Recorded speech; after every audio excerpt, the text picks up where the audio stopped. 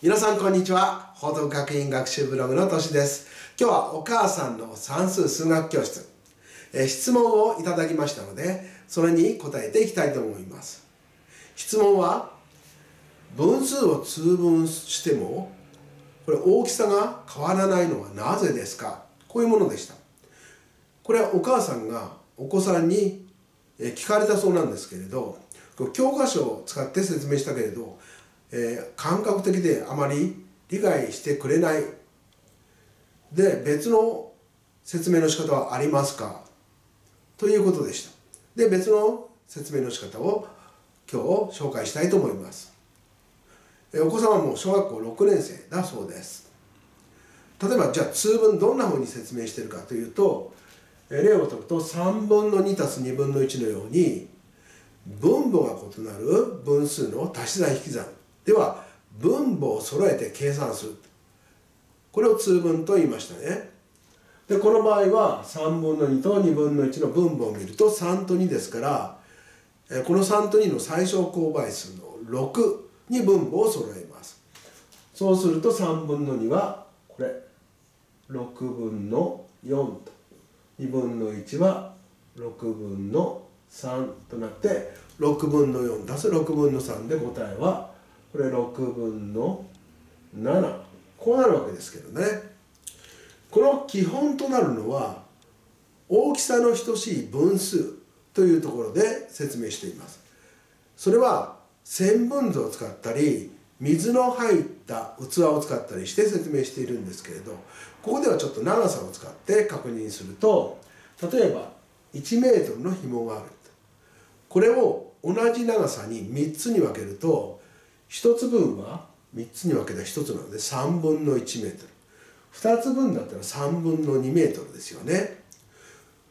この3分の1の部分をさらに半分ずつに分ける。つまり同じ長さにこんなふうに分けていくと1メートルが6つに分かれましたよね。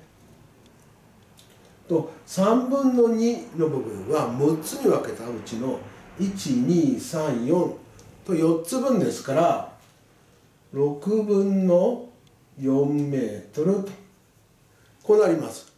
だから3分の2と6分の4は等しい分数ですよと。同じ大きさの分数ですよと。これが教科書の説明でした。ではこれと違った説明。で通分してなぜこれ分数の大きさが変わらないか。えー、今回は分数同士の掛け算を使って説明します。この3分の2の部分が6分の4になった部分。ねここを使います。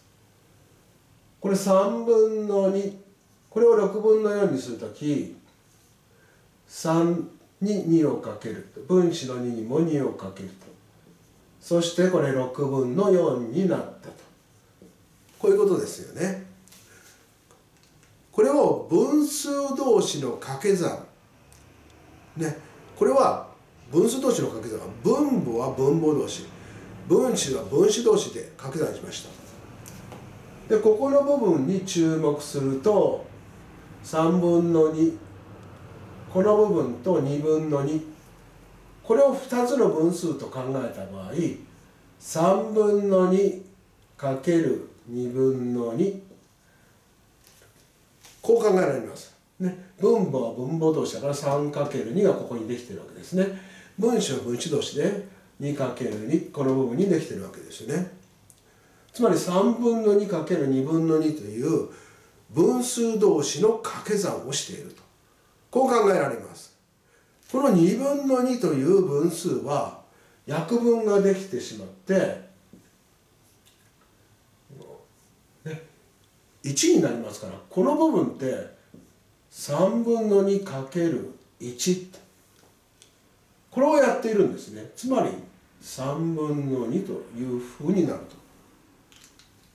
これを逆から考えていくと通分というのは2つの分母が異なる分数の分母を揃えるために1をその分数の分母の最小公倍数になるように一応形を変えて掛け算しているね、つまり1を掛け算しているのと同じだと。通分するというのはその分数に1を掛け算している。ただ1を最小公倍数になるような形に変えているこういうことなんですね。つまり1をかけているのと同じだから。数はどんな数でも何とかかける1だったら元の数と同じ答えになりますよね。